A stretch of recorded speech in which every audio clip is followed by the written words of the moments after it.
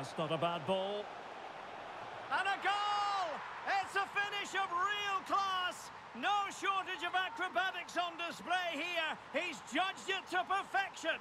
Incredible header.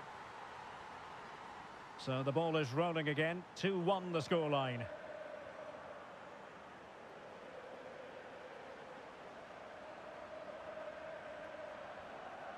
Bertelsen. And a lot to like about this attack. Well, disappointing end to the move. Now the counter-attack looks on.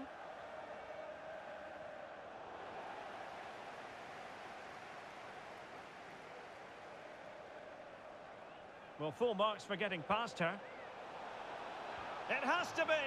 And it goes to square the game. What a contest this is turning out to.